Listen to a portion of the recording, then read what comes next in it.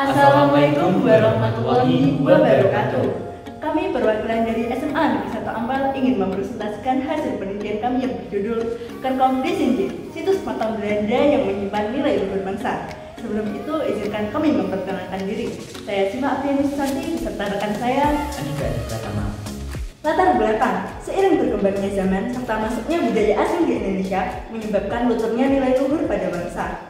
Nilai luhur merupakan sebuah nilai yang berasal dari budaya bangsa di Nusantara dan memiliki dasar kehidupan manusia yang diakui secara universal dan berlaku selama sepanjang masa. Terkadang nilai luhur sendiri dapat ditemukan dalam sebuah sejarah tempat tertentu. Salah satunya ialah Kerkop Disiji yang terletak di Kecamatan Ampel. Makam ini ternyata memiliki sebuah nilai sejarah yang dapat menimbulkan nilai-nilai luhur pada generasi muda pada saat ini. Makam tersebut merupakan makam dari keluarga di yang merupakan pionir perkebunan Surakarta pada masa lampau. Oleh karena itu, kami tertarik untuk melakukan penelitian dengan judul Kerkauf di situs makam Belanda yang menyimpan nilai luhur bangsa. Tujuan dari penelitian ini adalah satu, Menganalisis nilai luhur yang terdapat dalam situs Kerkauf di Sinji.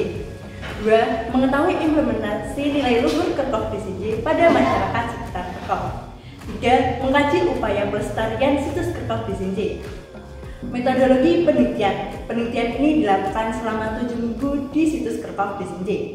Penelitian ini menggunakan pendekatan deskriptif kualitatif dengan data primer berupa sejarah, nilai-nilai luhur, dan upaya pelestariannya.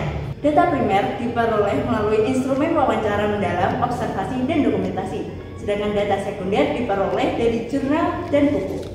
Teknik analisis data menggunakan model interaktif yang meliputi pengumpulan data, sajian data, reduksi data, dan penarikan kesimpulan. Pembahasan nilai luhur yang terdapat dalam situs Kerkop Ampel.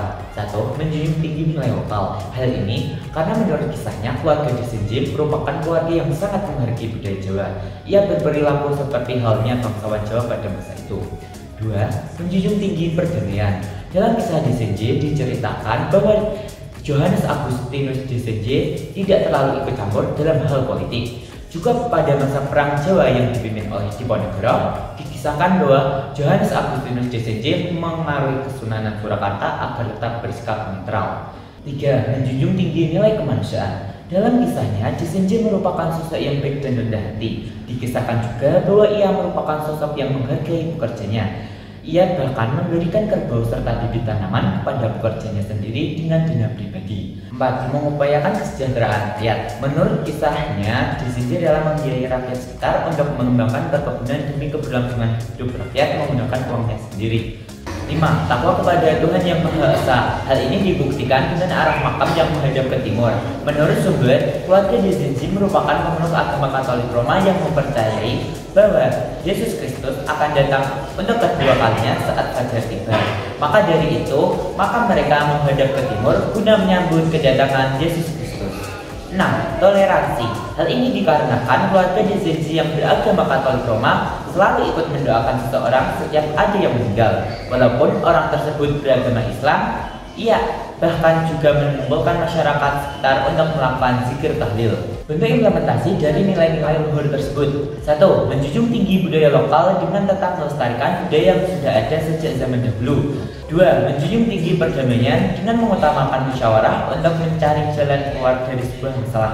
Tiga, menjunjung tinggi nilai kemanusiaan dengan memperlakukan setiap manusia dengan sama tanpa membedakan kasta, ras, dan agama. Empat, mengupayakan kesejahteraan rakyat dengan mengutamakan kepentingan bersama di atas kepentingan pribadi. Lima, takwa kepada Tuhan Yang Maha Esa dengan mempercayai adanya Tuhan dan menjalankan kewajiban sesuai ajarannya. Enam, selalu bersikap toleransi serta menghargai adanya perbedaan agama, suku, dan ras. Upaya pelestarian yang dilakukan di situs Kerkop DCJ antara lain satu Dokumentasi dan pembuatan aplikasi untuk mengenalkan situs Kerkop kepada masyarakat secara luas serta penelitian terkait sejarah situs Kerkop Ampel. Agar pelestarian situs Kerkop lebih optimal, perlu dilakukan upaya pelestarian yang lebih mendalam berupa konservasi dan restorasi bangunan Kerkop DCJ. Kesimpulan, situs Kerkop perlu dilestarikan karena mengandung nilai-nilai luhur yang perlu diimplementasikan oleh generasi muda pada zaman sekarang. Sekian presentasi dari kami, bila ada salah mohon dimaafkan. Akhir kata, wassalamualaikum warahmatullahi wabarakatuh.